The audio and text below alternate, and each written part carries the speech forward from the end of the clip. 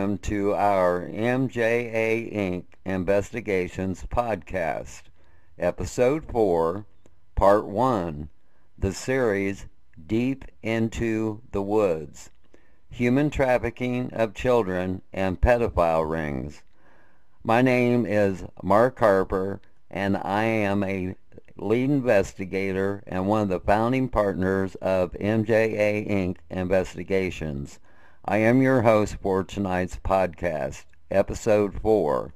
This is part 1 of human trafficking of children and pedophile rings. At this time of the cases that have been reported, there are 1.5 million human trafficking victims in the United States. That's male and female victims.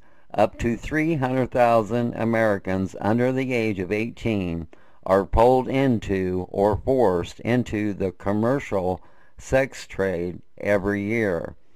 It's estimated that 14,500 to 17,500 of those victims are trafficked in the United States each year. The victim's average age is 11 to 14 years. About 80% of the children bought, sold, and imprisoned in the underground sex service industry are females.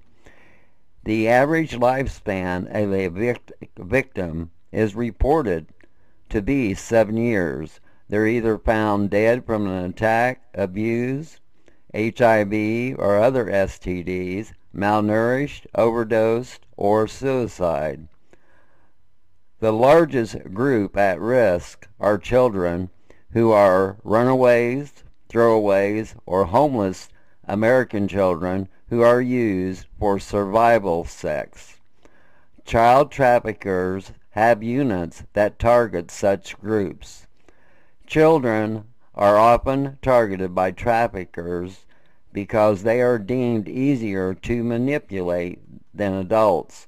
More money can be earned by younger girls and boys exploited in the sexual exploitation, especially virgins.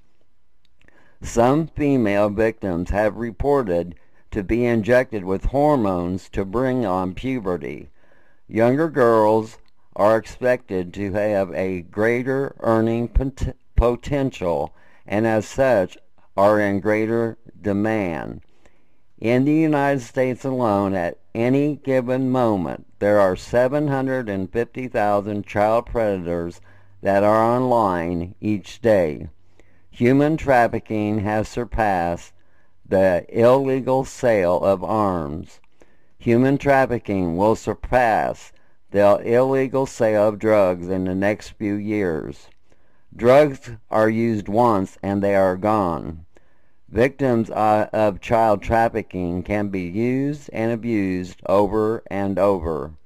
A 32 billion a year industry, human trafficking is on the rise and it is in all 50 states.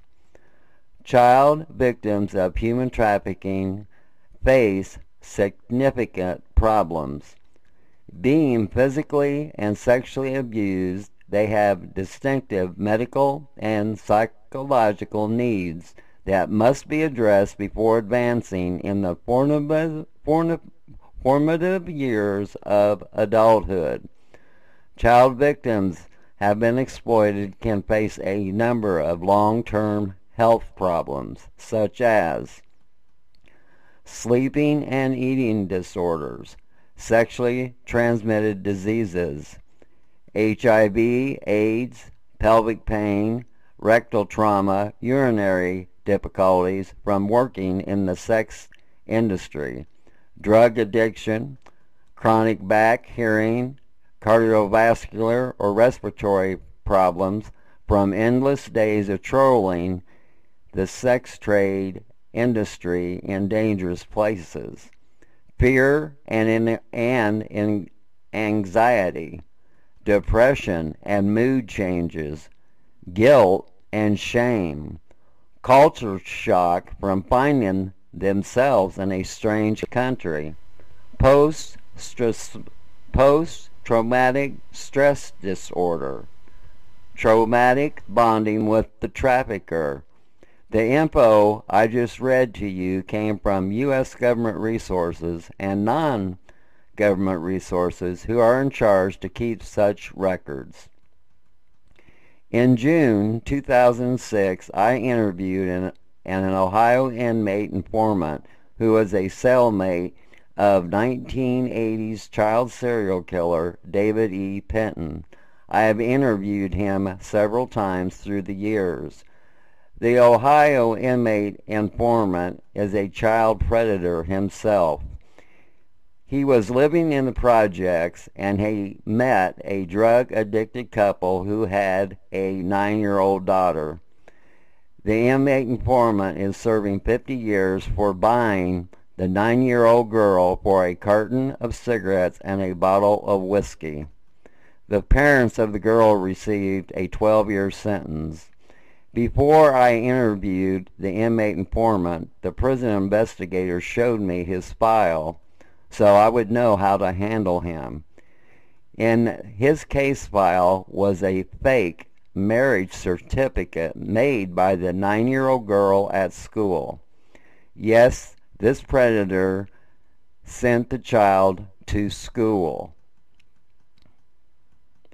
He had the child completely brainwashed with kindness because her parents were very abusive.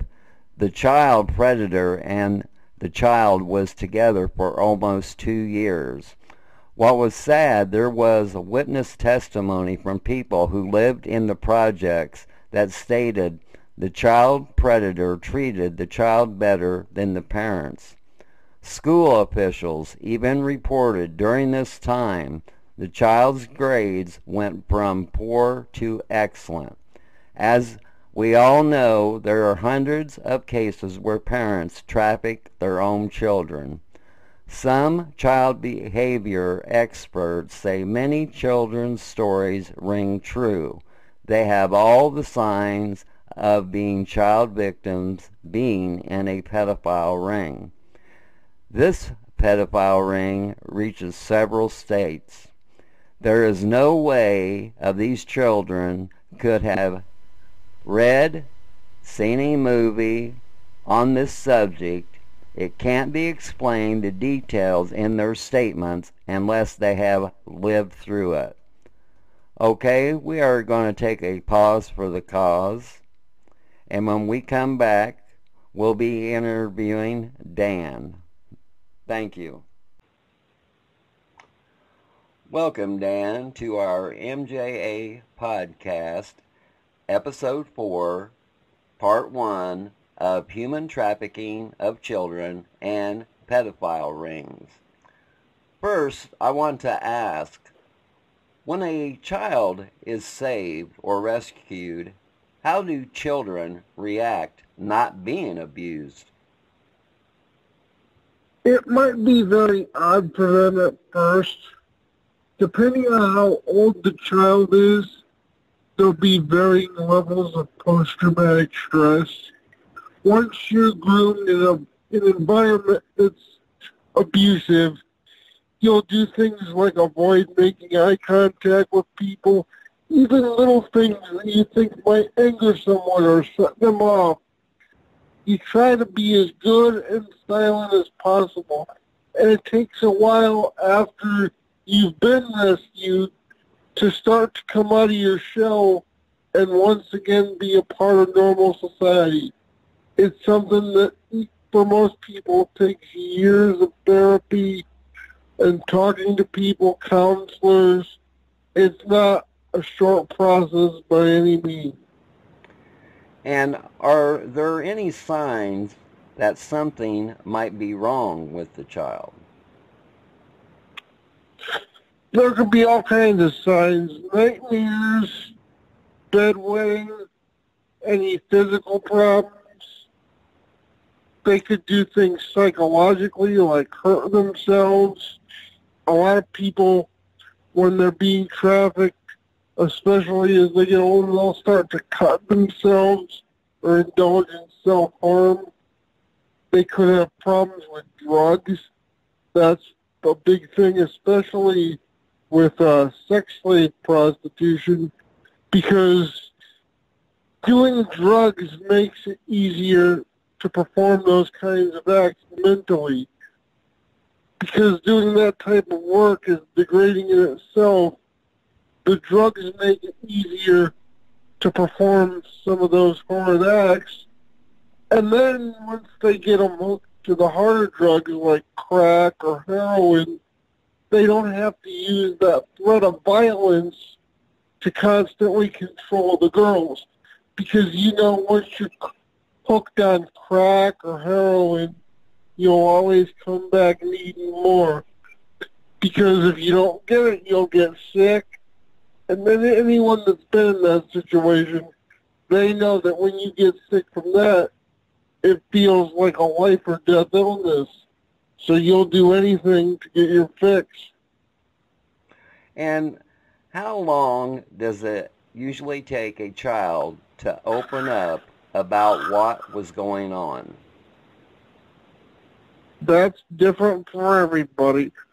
Obviously, if you could bring in someone similar to the victim, say a young black female, if you could bring in a younger black female detective to talk with that person, that works best.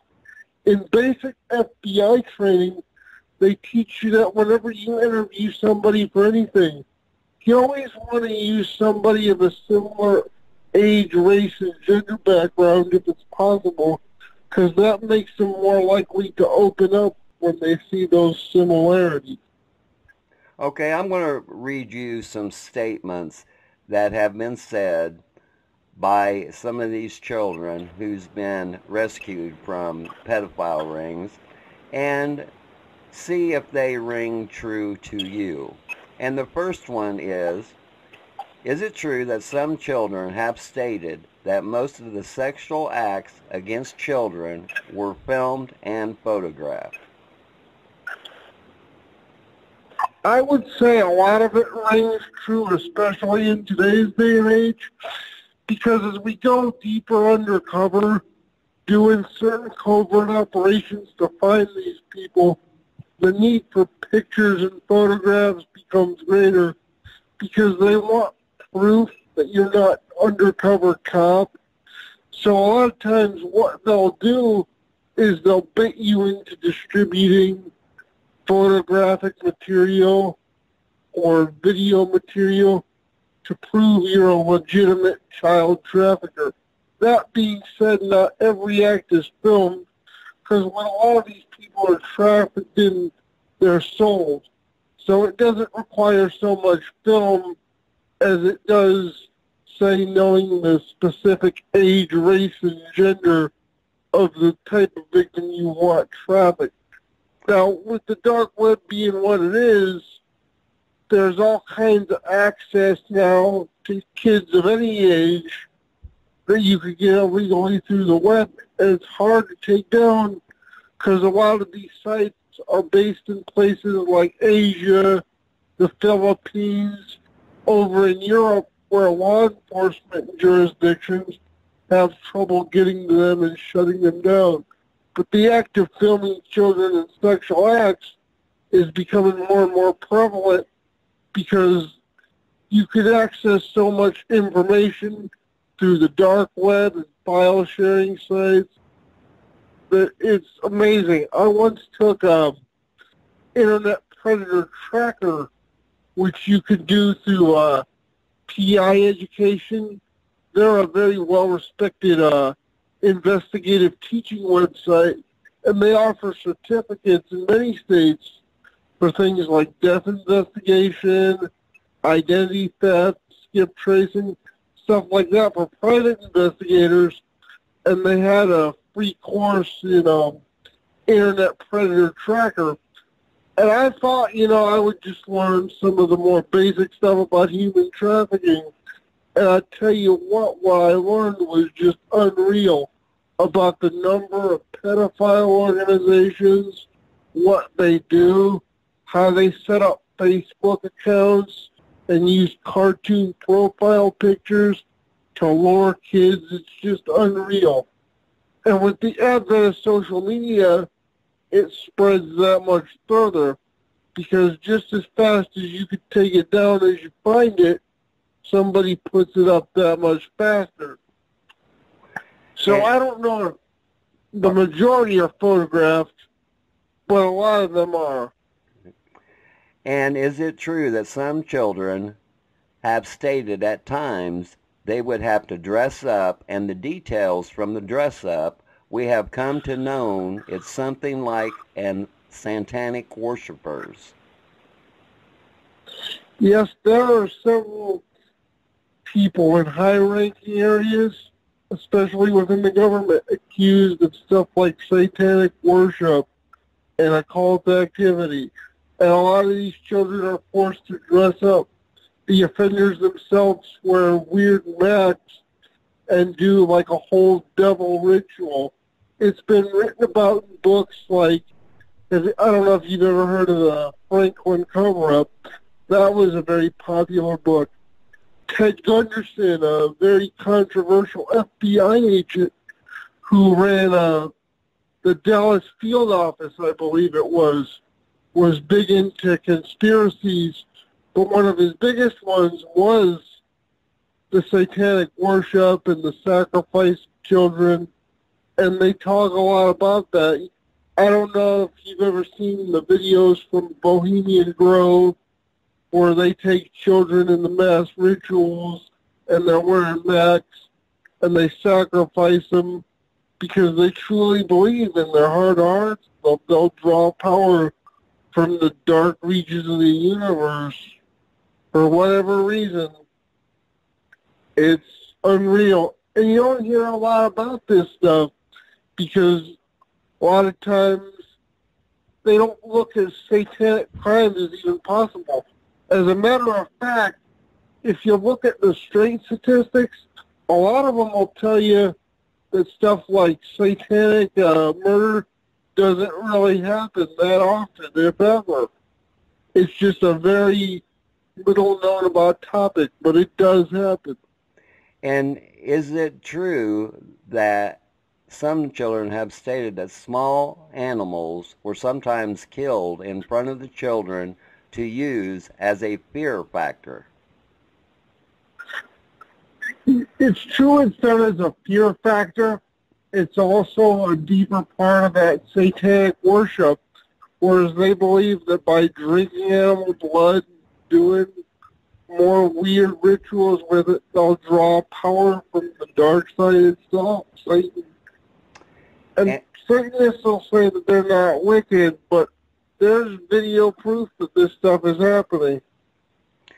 And is it true that some children have stated during some sexual acts they had to watch movies of other children doing sexual acts? It's true.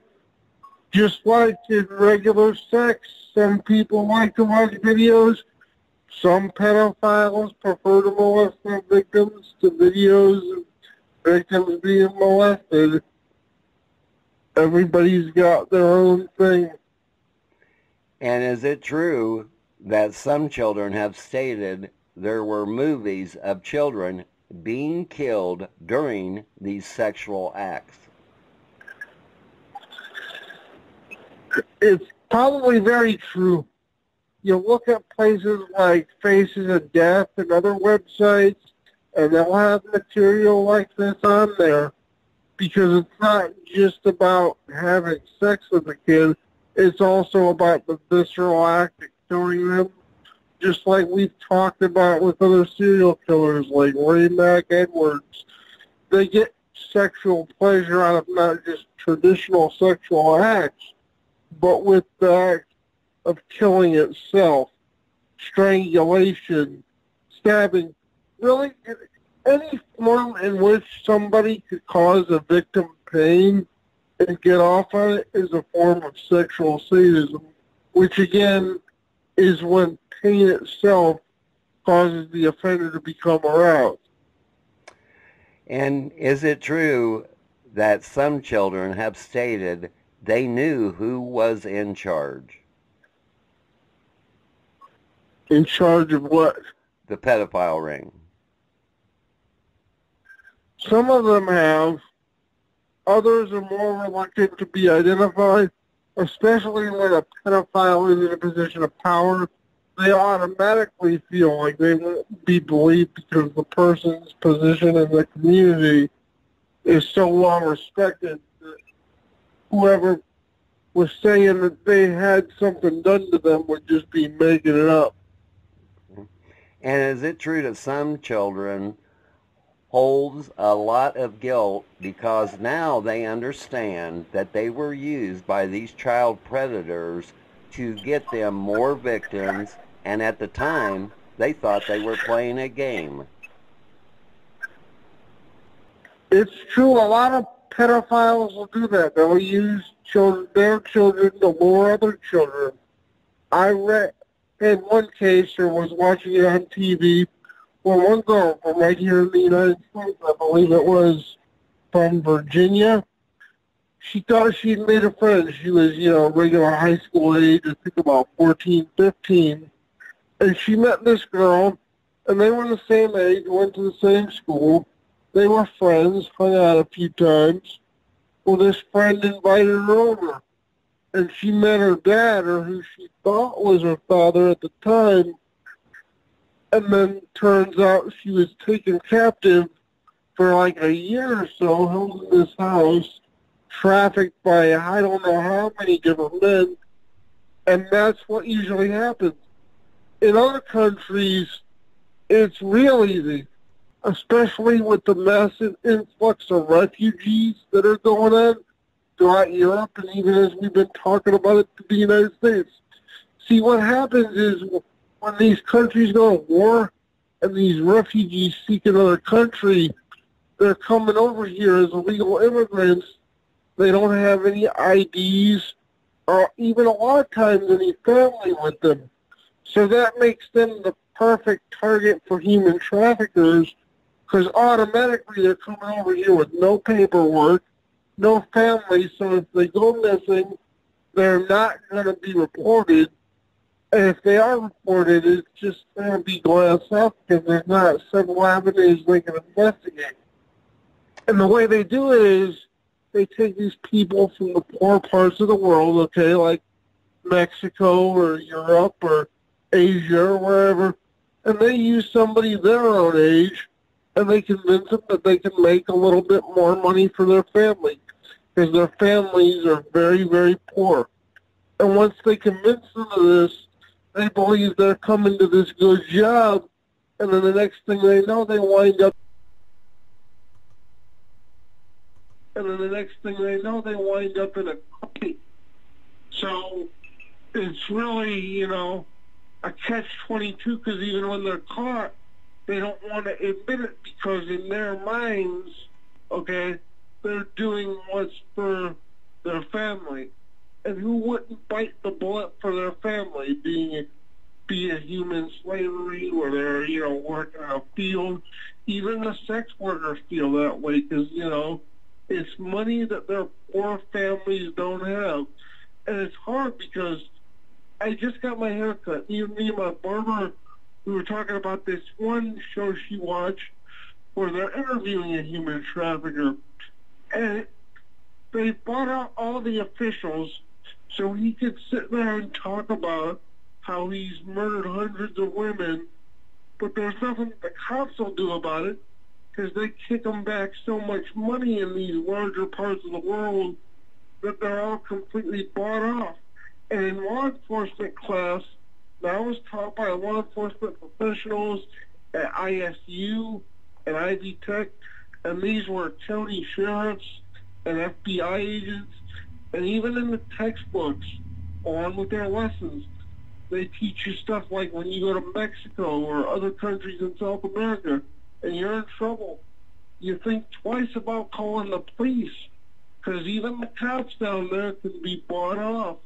You could call the police after you got robbed, sit down in their car for an interview, and be taken away never to see again. So it's a it's a very scary thing, all in prospect. Okay. I know that was a little bit long-winded, but That's fine, Dan. Thank you very much, Dan, for being on this podcast. We're going to take. Thank you so much for having me. We're going to take a pause for the cause, and we'll be back in a moment with our second guest on tonight's podcast. Her name is Callie, who is a profiler and researcher for MJA. Callie knows the dynamics of human trafficking of children and how pedophile rings operate. Please stand by for Kelly. Welcome, Kelly, to our MJA podcast, episode 4, part 1, Human Trafficking of Children and Pedophile Rings. Can you please tell our listeners what happens to families' well-being when law enforcement and the courts won't listen that your children have been sexually abused? Well, hi, Mark. Glad to be here. Um, and yes, that question is very um, marking. It's like a branding almost. Um, it's a painful experience, and it causes helplessness. It's overwhelming and disparaging. Um, being re-victimized by having told the truth and exposed oneself openly and the whole family, um, and being isolated. But all the time that a person was doing that, they have felt trust in the justice system that but the justice system was not there for them. And like the child that trusted the abuser in the beginning. So it's it's a complete circle.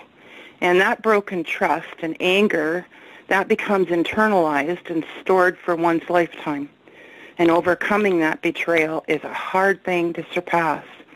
Society does not want to deal with these things. When the topic is broached in a conversation, Joe or Jane public, uh, or even your relatives, well, they look as though their underwear has been turned around with them in it. Mm-hmm. It is an uncomfortable truth that one, no one wants to talk about, but it must be talked about. And it's never going to end until it is. And it needs to be brought to an end by exposing it for what it is. And have you ever had to deal with child victims of sexual abuse? Yes, Mark. Um, victims in my work with victim services and the training that they provide, as well as my own and my children's life experiences. I decided that since life handed me and my children lemons, I was going to learn as much as I could about lemons, so that instead of being enraged and bitter, I was going to be outraged and try to make a difference for other people, for my own children, and for myself, and even my grandchildren. I have also worked with victims in adulthood and seen their growth emotionally and developmentally. Uh, it's a painful journey, but worth it in the end, and it is a good thing to see, and it makes it makes you glad when you see that turn. And do you agree with some of the U.S. government resources and non-government resources that these children have a long recovery ahead and still can have issues in adulthood? Oh, absolutely. A long time. Um, but there's hope in that, as long as it's not buried or ignored, but dealt with and one reaches for all the tools and information that they can find and get. Ignoring and burying sexual abuse, um, the shame plays a huge role in doing this. I liken it to laying a floor down that you're going to walk on every single day of your life, but it's not nailed down. It's just laid down. And eventually it's going to bring to your attention that the boards are loose and smack. It's going to smack you in an ongoing way, and you're going to experience that whole thing. Even though you don't maybe recognize it at the time for what it is, it, you will eventually get it. You're going to get down. You need to get down and examine what needs to be done. It's not your fault. It is not and never has been your fault. Uh, this is where the abusers use misplaced responsibility as a tool to manipulate and secure the victim. Recovering is a living thing to learn to cope with and to learn to rise above it and regain your dignity and your self-worth. That broken trust is like a broken back, and you need to learn how to walk again. Even after the initial healing, it's hard to tr- to trust and expose yourself to the persecution or ridicule or misunderstanding, and even sometimes your own self-persecution. Um, embracing your brokenness is most difficult, but it is the only way to truly move forward and heal and regain what's rightfully yours, and that is you. You keep living, if you keep living in that reaction world where your everyday occurrences and everyday events that you respond to in pain, that's not healthy. And uh, finding your way back to yourself and respecting yourself again.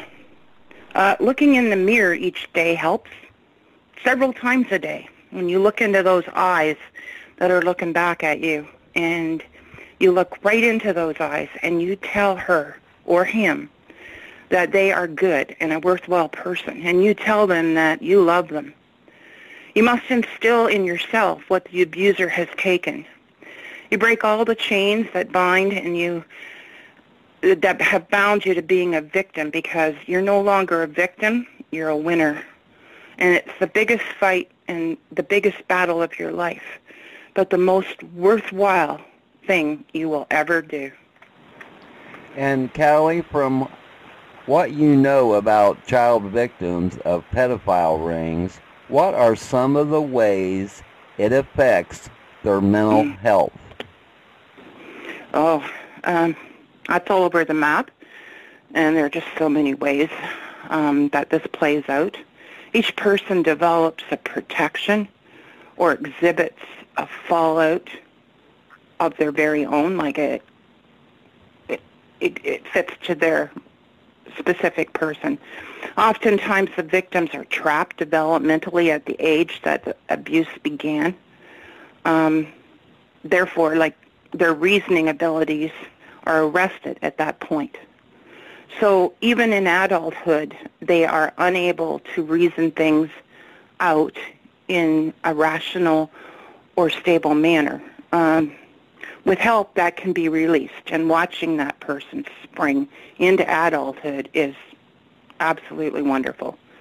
Then there's repressed memory syndrome, where a child is told at the age of five to forget something, and you need to really be you do a really good job of it at five because you feel responsible at at age five and then you're into your adulthood things start to happen and you start forgetting simple things like how to spell was.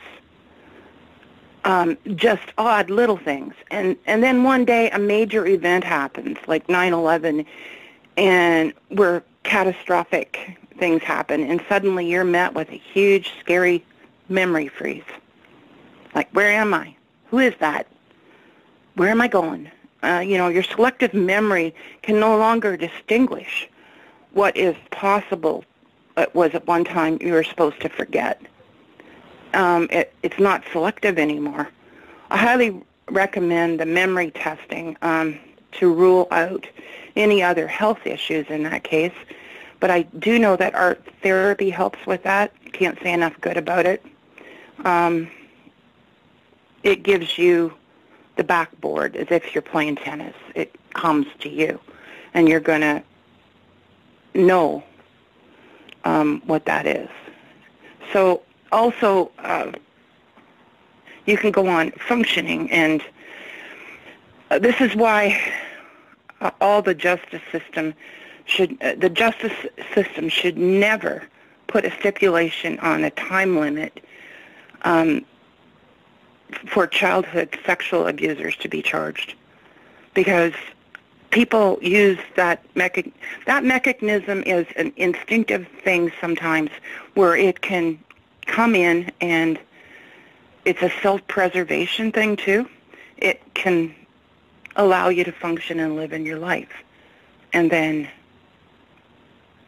bang, you know, it comes up where it's dislodged and, and you need to go through that. And then there's multiple personalities. Now, I believe they're a survival tool and the mechanism to, to soothe the pain and divert is any possible responsibility that the other personality cannot handle. A coping mechanism, as I see it. Oftentimes, children are indoctrinated into a pedophile ring uh, by making them feel responsible for what is happening to them or to other people. Misplaced responsibility adds to the shame and prevents them from wanting to tell anyone about it. And then there's self-isolation. You are ingrained to believe that you're not worthy. Shame and misplaced responsibility and that in itself isolates the emotions and keeps you from thinking normal life is for you. Your normal is not society's normal. And that's just the tip of the iceberg. There's so many other things that adulthood is affected by. Okay. When a child victim comes forward or escapes, what do you think could have been their breaking point to take such a chance?